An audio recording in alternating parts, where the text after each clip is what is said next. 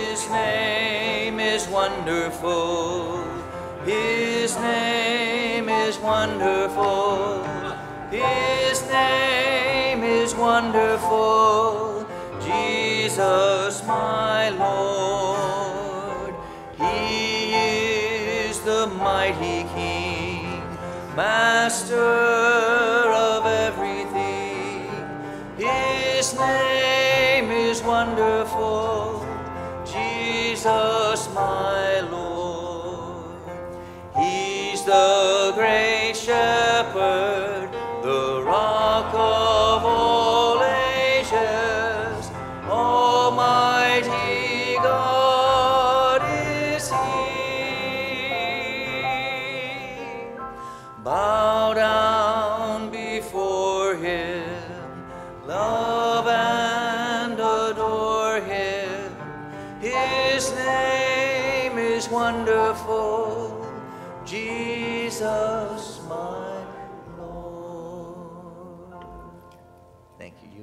Seated. Listen as the choir sings, Here I Stand.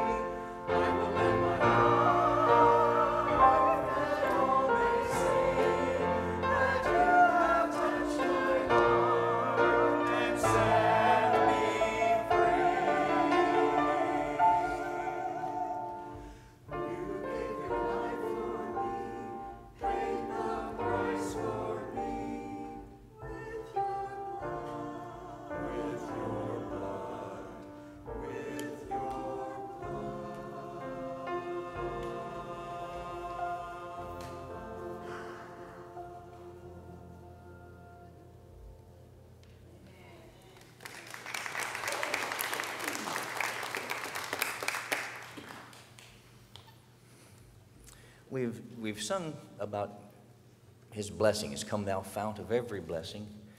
All the blessings we have come from him. We've sung about his faithfulness and all the new, the new mercies each morning that he brings upon us.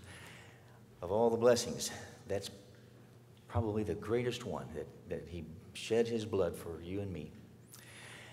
As we sing these next two songs, Tell It to Jesus and I Must Tell Jesus. Think about the, the times that he has saved us, that he's rescued us, that we've called upon him, and, uh, and that he has come and ministered to you and seen you through trials and tribulations. Because in just a little bit after that, we're going to sing Give Thanks with a Grateful Heart for all of those things for salvation, for eternal life through Jesus Christ, for his care and love of us in this life. We sing hymn number 451 Tell It to Jesus.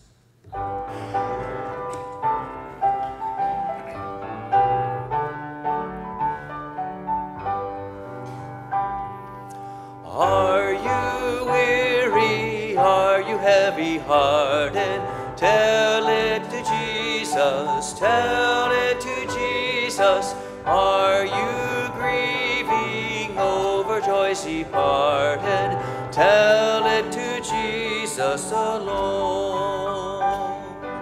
Tell it to Jesus, tell it to Jesus. He is a friend that's well known. You've no other such a friend or brother. Tell it to Jesus alone. Do you fear the gathering clouds of sorrow? Tell it to Jesus. Tell it to Jesus. Are you anxious? What shall be tomorrow? Tell it to Jesus alone. Tell it to Jesus. Tell it to Jesus. He is a friend that's well known. You've no other such a friend or brother.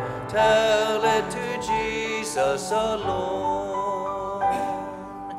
Are you troubled at the thought of dying? Tell it to Jesus. Tell it to Jesus. For Christ's coming kingdom are you sighing? Tell it to Jesus alone.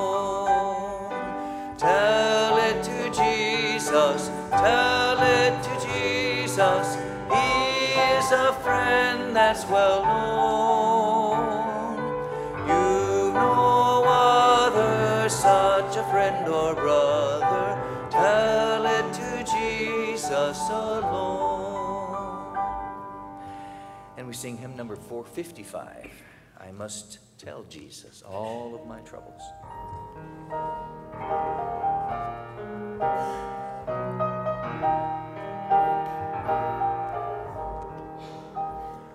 I must tell Jesus all of my trials.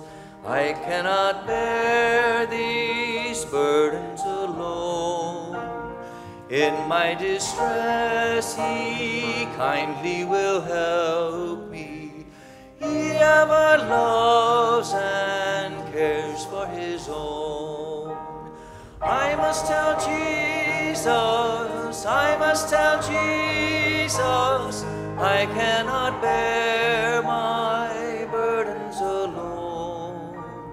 I must tell Jesus, I must tell Jesus, Jesus can help me, Jesus alone.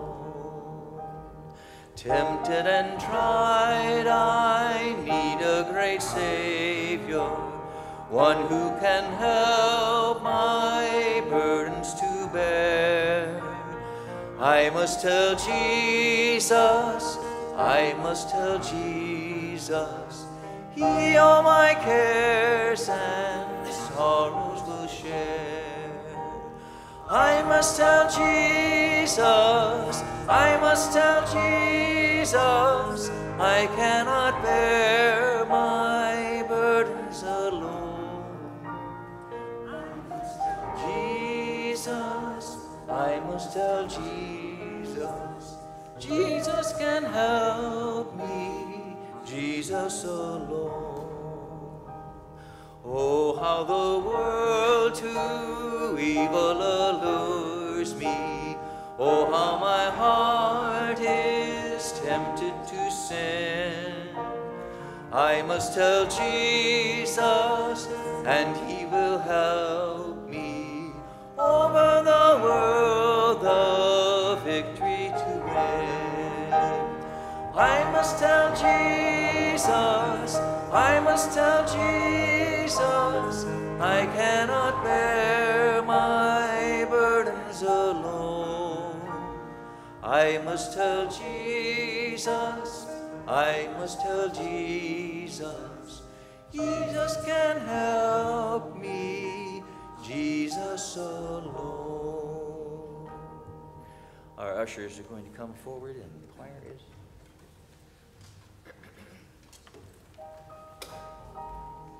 Will you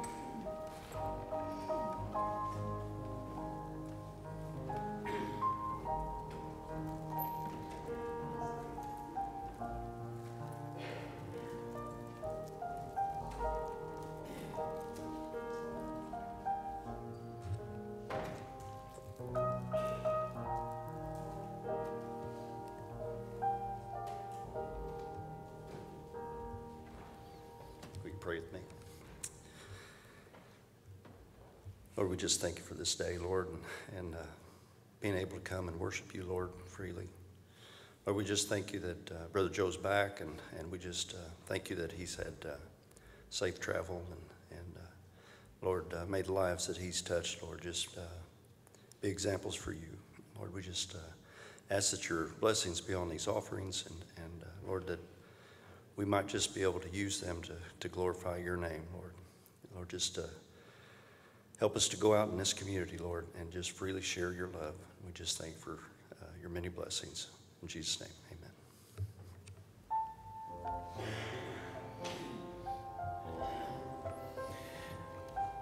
As we sing this, think of all the blessings that God has given to you. Just in this last week, maybe some ordinary miracle, maybe something special. But we give thanks to God, most of all for His Son. Give thanks with a grateful heart. Give thanks to the Holy One. Give thanks because He's given Jesus Christ, His Son. With a grateful heart. Give thanks to the Holy One. Give thanks because He's given Jesus Christ, His Son. And now let the weak say, I am strong. Let the poor say,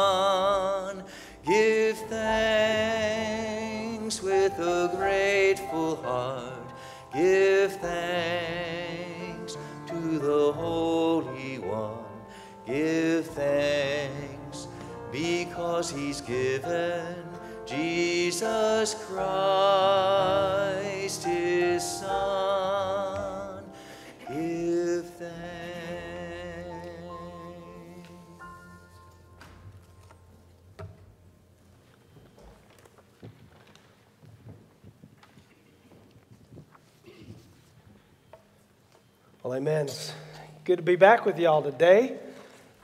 Glad that you're here. Hope you've had a great weekend this weekend. And uh, I just want to say um, I appreciate Matt and uh, Jim and Sean filling in for me. I know that heard they did a great job, so we appreciate uh, them doing. I'll tell you what, we had a great time in the Ukraine. A couple, I guess it's almost been a month now since we left, and uh, September the 8th, that's about what, about three or four weeks from now. We're going to do, three weeks from now, we're going to do a presentation on a Sunday night. I know that John Montgomery took about 1,600 pictures, so we won't look at them all, but he did take some great pictures, and we got some great stories to tell you. So uh, make plans that night on the, on the September 8th. We'll, we'll get together and we'll, we'll do some, uh, we'll just tell you some great stuff that happened, some exciting things. Now, let me tell you what we, we tend to do here. We tend to walk through books of the Bible. Um, we go verse by verse. The reason why we do that mostly is because we want to know what God's word said. It doesn't matter what Joe says, it matters what God says. And so we look, we really just walk through books of the Bible mostly. Um, and this morning we're going to start a new book. We're going to be looking at the book of First John. So here's what I want you to do. If you have your Bible, I invite you to grab it and um, turn to the book of First John and say, Well, Joe, Joe, where is it? Well, here, here's a good, it's right after Second Peter and right before Second John. All right, so right in there, if that helps you any. It's actually by the back of the New Testament, kind of. And uh, if you'll start in the back and kind of work, you'll, you'll see it. Now, this morning, what we want to do is kind of just do an introduction to this book, maybe get a little flavor of what's going on here. And um, let me say a word of prayer and we'll, we'll kind of jump into some things here. Lord God, we come to you this morning asking that you speak. This is your word. And so as we, we begin to do some spade work and we begin to look at this book, I pray that God, by it, that we may be changed. We know that your word, uh, it, it says that faith comes by hearing and hearing your word. And so we want to hear what you have to say to us. And that's, God, uh, why we're looking at this book. And so, God, speak to our hearts. And we pray this in your name. Amen. All right, so when, when I refer to the, the book of First John, basically one of the things is it's actually a letter. And you may or may not know that, but most of the books in the New Testament are actually letters. Like Colossians is written to the people of Colossae. The, the book of Ephesians is written to a group of people in Ephesus right? And so what, you're, what we're actually looking at here when we look at First John is, is really, it's a letter. Um, and I, I, told the fir- first bunch this, you, you all will get this way more than them. A bunch of young people in the, in the first service, and they don't really get this, but um, uh, getting mail used to be a fun process, didn't it? Like today, mail is, they, these young people, they don't even have a clue. I put myself, uh, in, in the older crowd because I've, I used to get mail. How about you? Now, when you get the mail, you don't get anything hardly good in it. Used to be a thing where you look forward to getting mail. Our, our text messages, used you used to have to seal them in an envelope, put a stamp on it, and mail it. That's how you did a text. But uh, now they don't, they don't really get that. They think, you know, those are instant. But before, getting mail was, uh, sometimes it was a joyous thing, right?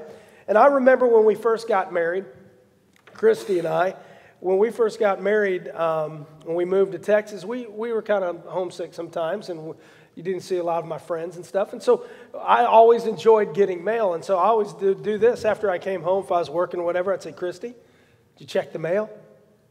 And I, she, I was doing that, I was going like this. Because I was wanting to get to the mail first, because we always had a thing to try to get to, the, if she forgot, we'd both run to the mail.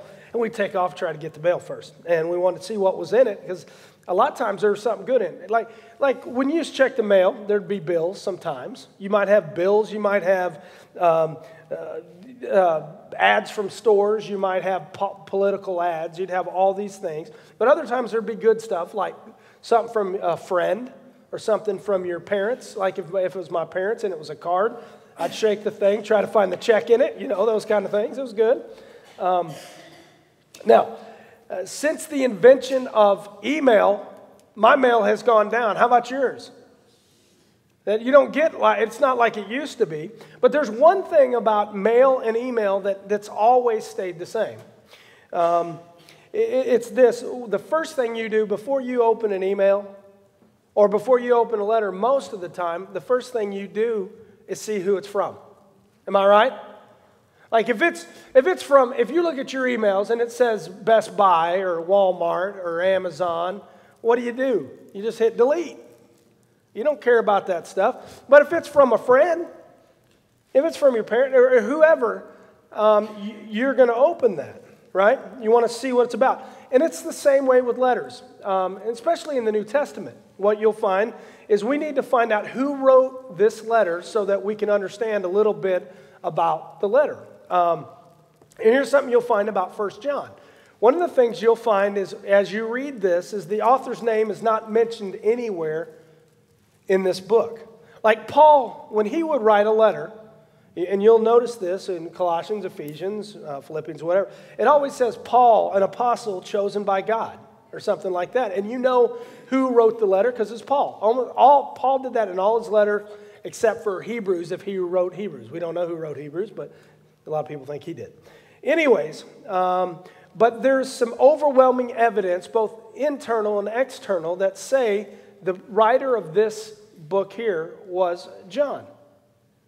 Uh, and most of the church fathers, all of them agree to that John wrote this. Now, here's the question there are two prominent Johns in the New Testament. Did you know that? The first one is a guy by the name of John the Baptist. Everybody remembers him. John the Baptist was Jesus' cousin. He's the one that baptized Jesus uh, in the Jordan, you remember. And he's also the guy, not only did he eat locusts and honey, but um, one time he got the king a little bit stirred up because he was telling him that he shouldn't marry his brother's wife. You remember that? So the king th- throws him in jail, and then the king's wife turns around and she hates him you know, for, for reasons, but she hates him, and so she has his head cut off and brought to her in a platter. Now, we know it was probably not that John because that John died way early. So there's another John that's prominent in the Bible, and that John, let me find my notes here, was the Apostle John, the, the disciple John. Um, John was a, a, fisherman by trade, and you'll remember um, that John, when Jesus called him, was out fishing. And, and Jesus says, Come follow me. And they dropped their nets and they followed him, right? Now, um, most people think that when John started, when he was out fishing, he was probably a teenager. He was a very, very young man at the time that Jesus called him. His dad's name, does anybody know, you Bible scholars, what was uh, John's dad's name? Zebedee, that's right. You were in the first service. Zebedee was uh, his dad's name. He had a brother named James. James and John, right? Uh, and James and John and Peter were in the inner circle with Jesus. Now, Jesus had the 12 disciples who followed him, and he had other people that were following him as well. But then he also had the three James, John, and Peter. And they, they were kind of like the inner circle. They were the only ones, James and John and Peter, were the only ones to see the raising of the daughter of Jairus. You remember? They were the only ones that were up on the Mount of Transfiguration when Jesus you know, his, his uh, clothes turned white, and Moses was standing there, and Elijah, you'll remember. So they were the ones that got, so John was one of those. Um, now, there's one thing that was kind of interesting as I was studying this about John that I thought was kind of cool. It, it's actually a church tradition that um, after Jesus ascended, John was one of the leaders in the church. Uh, he's one of the leaders in the, in the church of Jerusalem and, and uh, actually around. And so he, got, he gets picked up by the Emperor Domitian. Uh, and Domitian sentenced him to death. Uh, he says, You're going to die for this. And so he says, The way you're going to die is you're going to die in the Colosseum, and you're going to die by a vat of oil getting heated up to boiling, and we're going to drop you in it, and you'll die. Uh, in fact, back then, a lot of Christians were killed by the Romans. Right, right, right when Christianity was new, they, they persecuted them.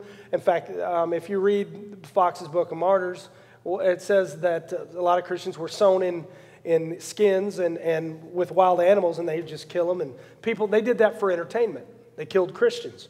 Uh, so John is sentenced to death by, uh, uh, according to church tradition, by being lowered in a vat of oil, boiling oil. So he's getting thrown into this vat.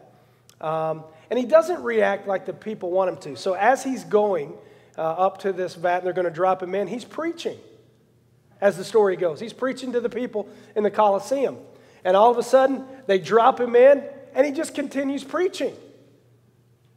Um, this, is, this is church tradition that he, he just kept preaching to the people, and they're listening and they're waiting for him to cry out. You ever seen those cartoons where it's uh, like Bugs Bunny and, they're, and they're, those guys are pulling their beards and everything and they're, they're putting a big pot under, and Bugs Bunny's in it and he's cutting up carrots and he's like taking a bath in there? Well, that's what John was doing.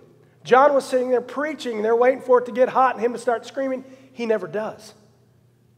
So it's kind of interesting that he, he, he does all this. He, he sits in this boiling, and so finally, after minutes had gone by, the Emperor Domitian says, Get him out of there.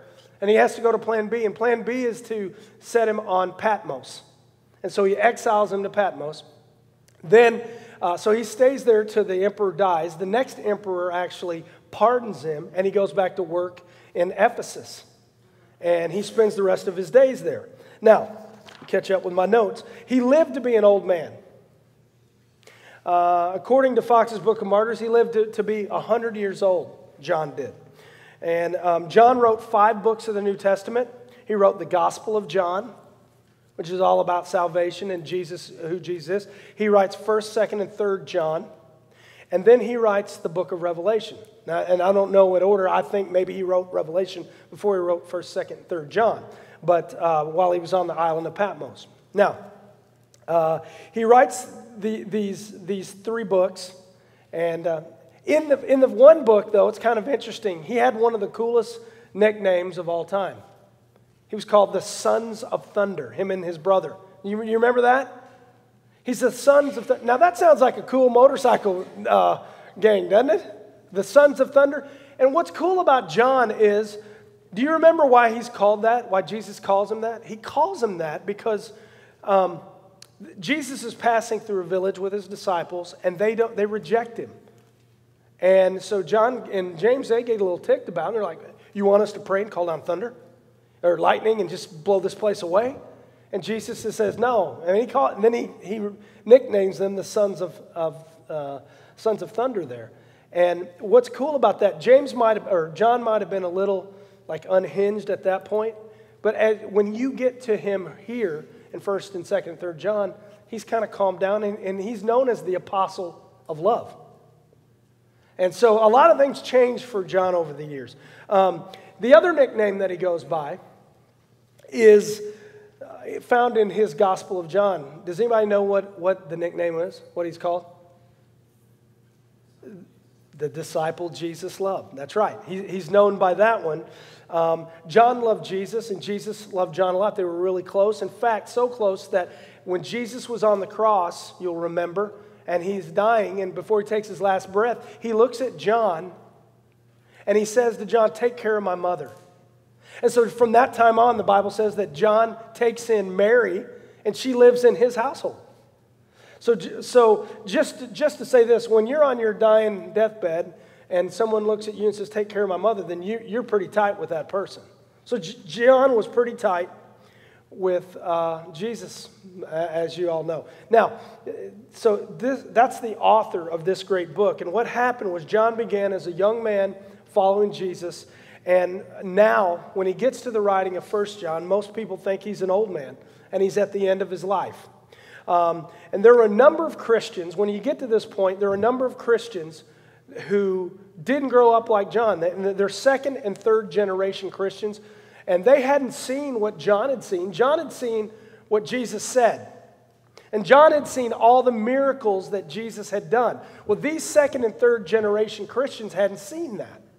And so he's going to write to them, and it's going to be like this. I love this. It's, it's like First John is a Bible study led by Grandpa, uh, Pastor John because he's an old man.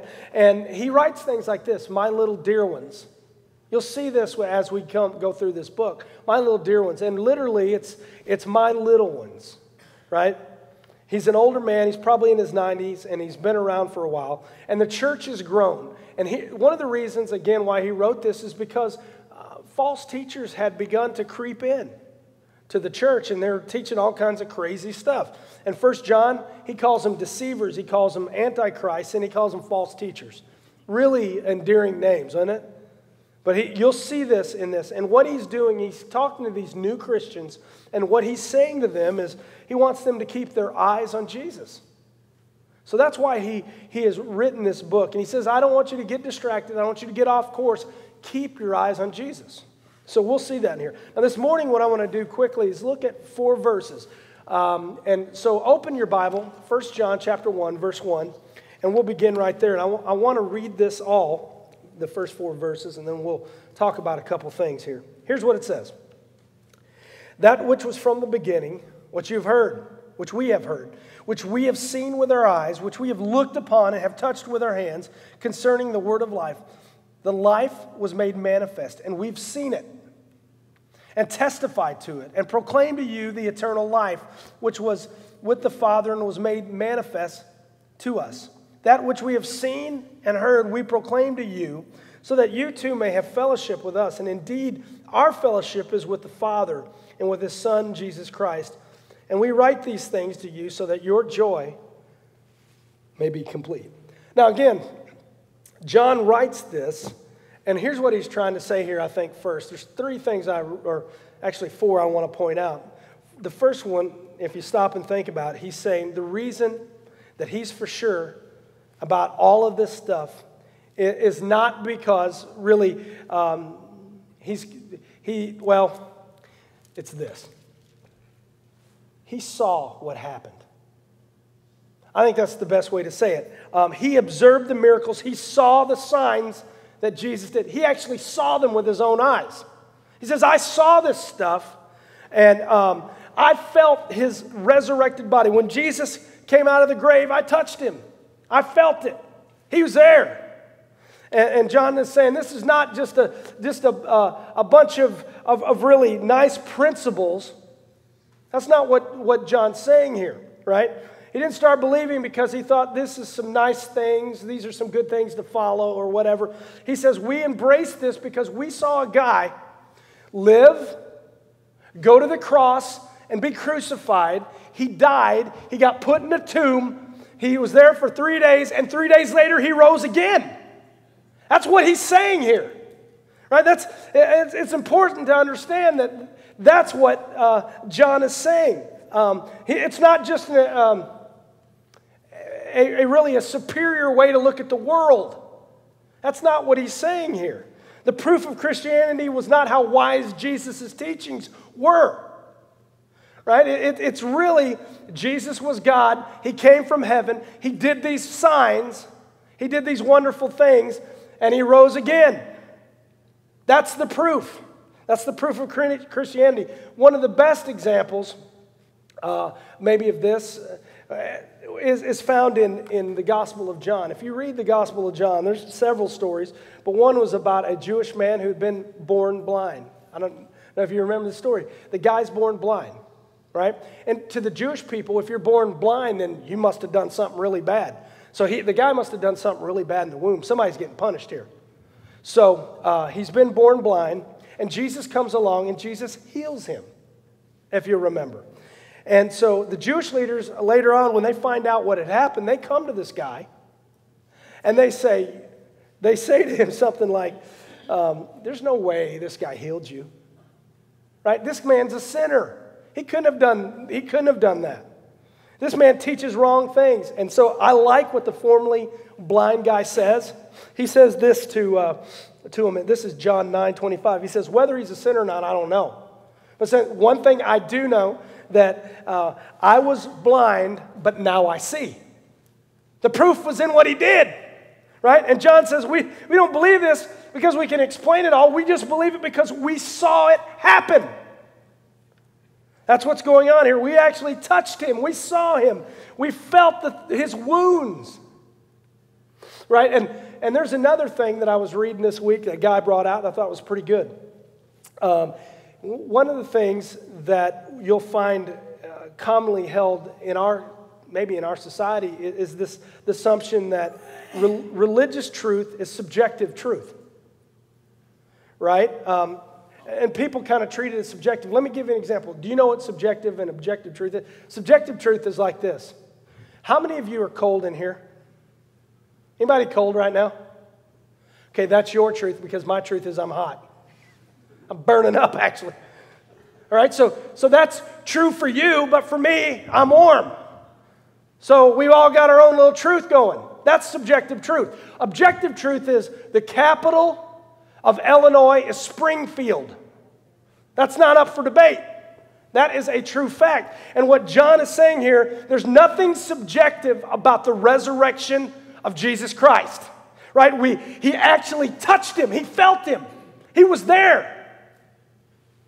And that's what, he, that's what he's saying. This has really happened. This is not a fairy tale. This is, was, isn't it? Once upon a time, this happened. Now, again, other religions, you got a guy in Islam, you got a guy that goes into a cave. And I don't know if he was huffing something when he went in there or whatever, but he says he saw an angel and he wrote a bunch of junk down.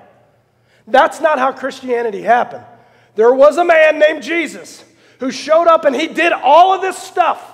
Then he goes to the cross and he dies and he goes into a tomb, and three days later, he rose from the dead. That's Christianity. It happened in real time.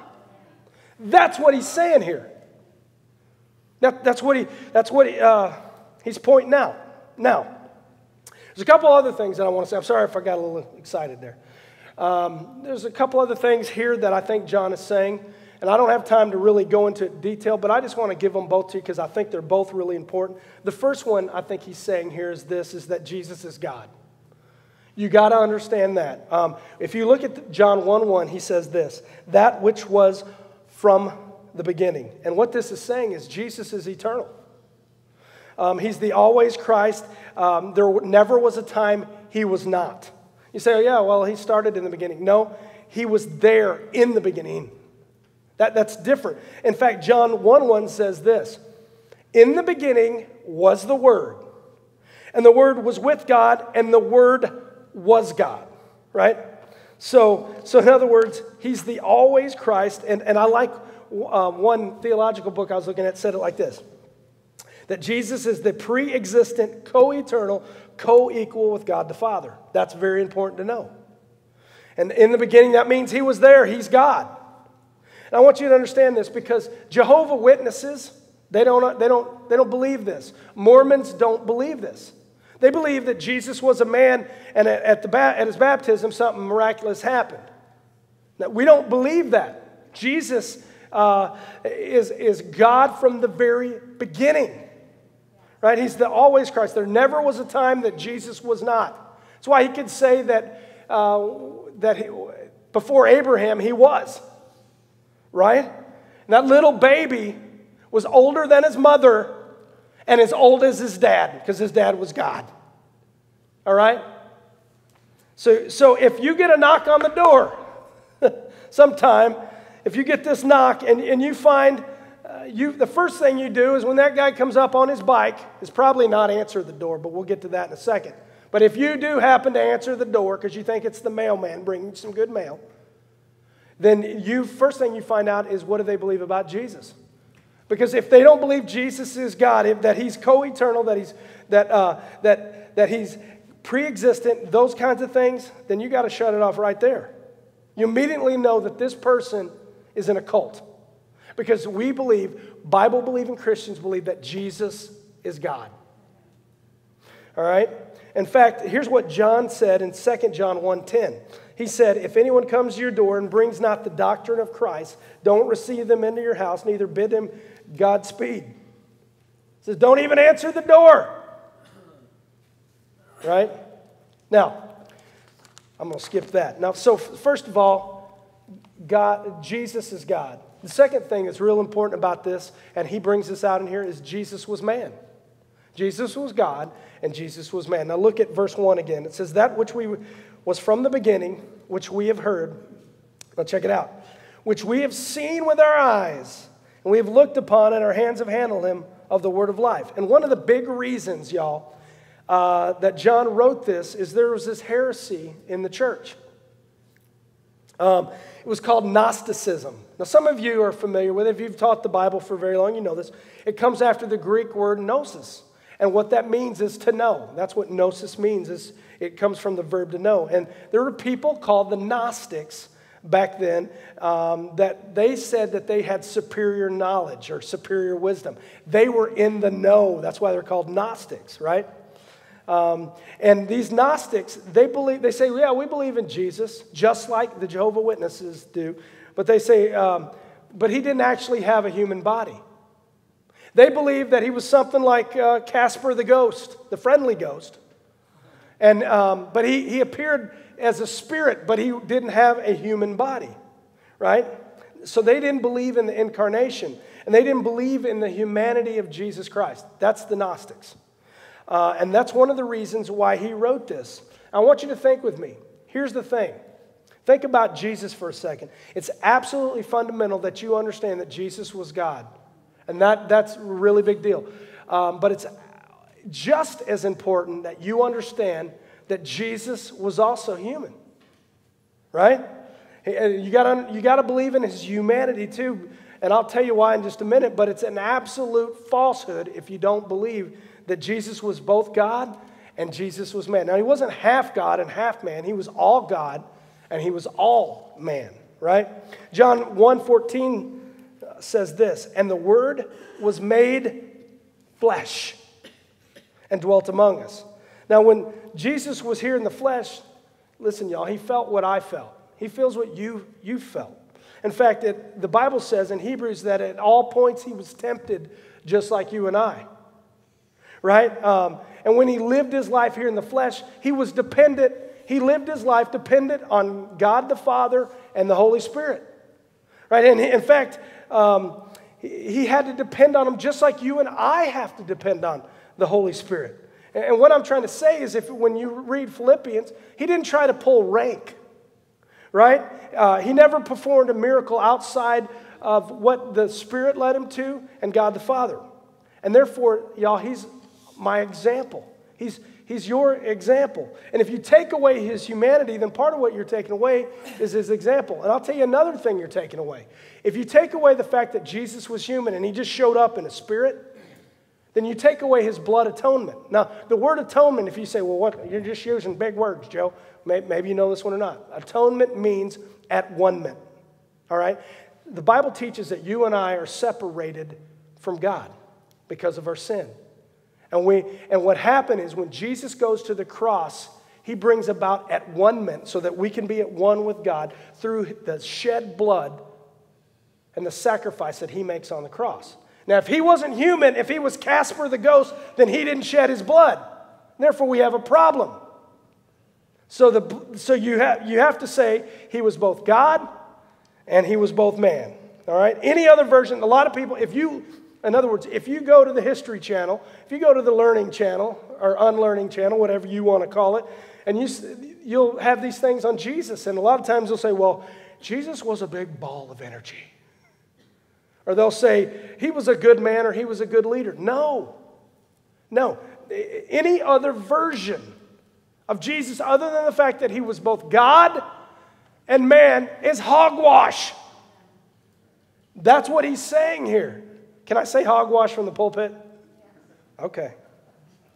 And what he's saying in verse 3 is that won't lead to fellowship with God, right? And it won't lead to relationship with God. All right, now, look for, lastly, because I got to hurry, look at verse 4, and we'll be done. One of the reasons why he wrote this not only was to straighten doctrine out, but he wrote it um, for what he says in verse 4. And there's a couple of these in, this, in here in the scripture. Look what he says, verse 4. And we are writing these things so that your joy may be complete. John says one of the reasons why he wrote this book is for your joy. And if I know anything about everybody in here, is you're all about your joy. Now, he's not talking about your happiness, all right? Happiness comes from the word happenstance, which means your circumstance. It's related to your. You can be happy or you can be sad. And if you're happy, it's because your circumstance, all that's going good. Joy is way deeper than that. Joy has to do with no matter what your circumstances are, you got that inner peace, that excitement going on. Um, when you have a real relationship with Jesus Christ, there's joy. All right? Uh, you got joy. One of the byproducts of salvation is joy. Now, I thought about this. You say, well, Joe, I've been a Christian for 30 years and I don't have any joy, right? Then here's what I'll tell you then something's happened.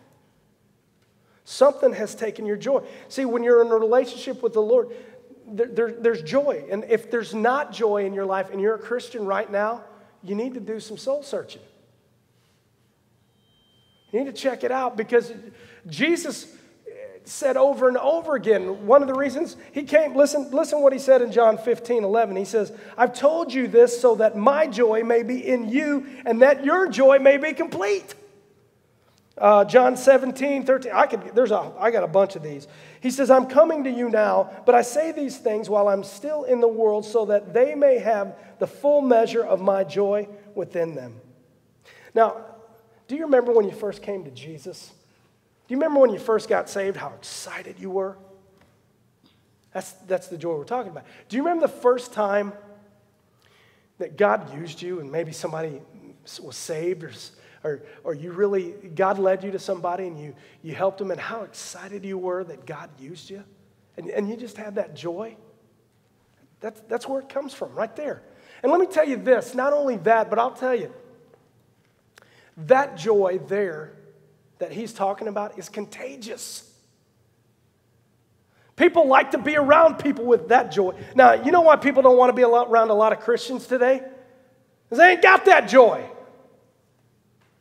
You ever been around a downer Christian?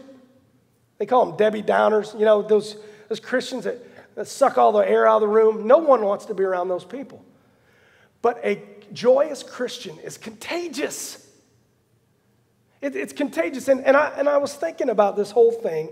Um, you know, a lot of times we, we kind of gripe and moan because we look around at the world and you watch the news and you see all the bad stuff going on. Anybody see all that bad? If you, I don't even recommend it. That'll steal your joy.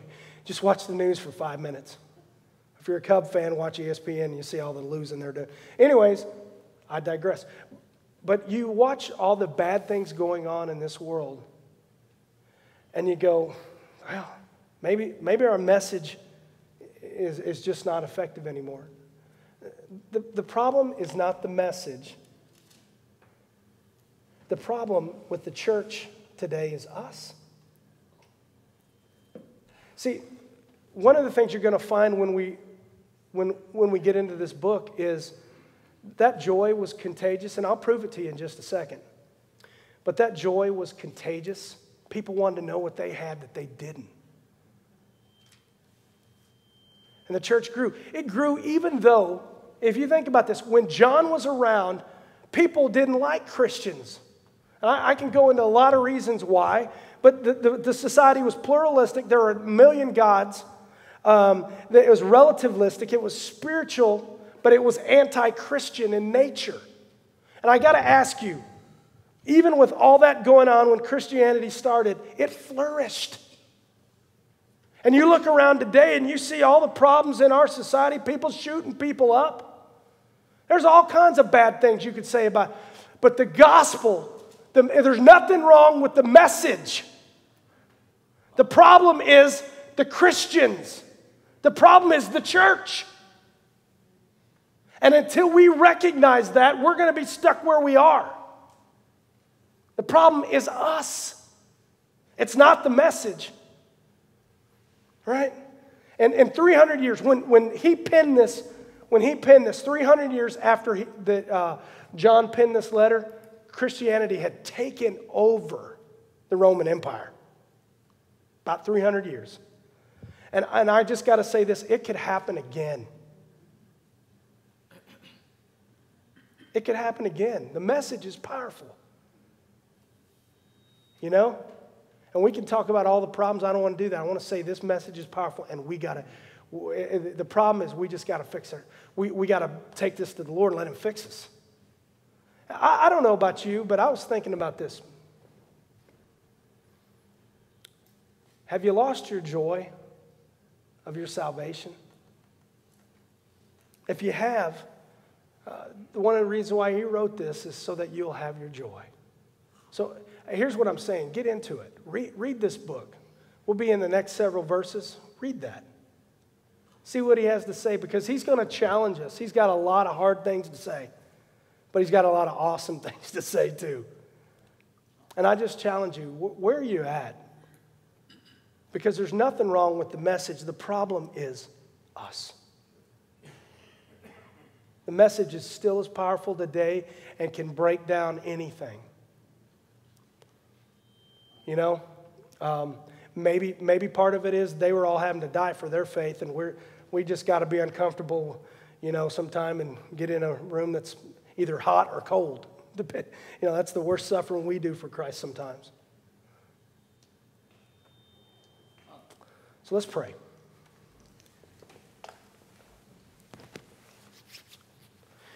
Lord Jesus, we come to you this morning, and, and Lord, we thank you that you're, you're both God and you're man, and what happened was real. We, we have a, something that really happened. This is not just a bunch of made up stuff. This really happened in time. God, we put our, our, our, faith and trust in that. We don't put our faith and trust in a politician. We don't put our faith and our, our trust in, in uh, money or any of these things that the world has to offer. We put our faith and trust in you. And God, some of us may be in here this morning, if we were honest, maybe that's not where our faith and trust is right now. We need to come back to you. And Lord, what's good about you is you never give up on us. And even when we fail, you're right there with your arms open. And God, if we'll run to you, if we'll repent, if we'll confess it, that, that God, you, you, you restore us and you put us back to work. So, Lord, I, I just pray for each one in here. God, do your work in this church. We want to see Du Quoin taken over by the gospel. And we ask this in your name, Jesus. Amen. So I'm going to ask you if you would to stand with me. So come to this invitation time. It's for you. Maybe you want to come this morning and pray at the altar. You can pray for our church, maybe for your family. Maybe you need to make a decision public today. Whatever you'd like to do, we want to give you an opportunity right now just to kind of talk to God about whatever He said to you today. And, and so we'll give you that chance. So as uh, Kevin leads us and, and Jackie plays, you do what God's leading you to do.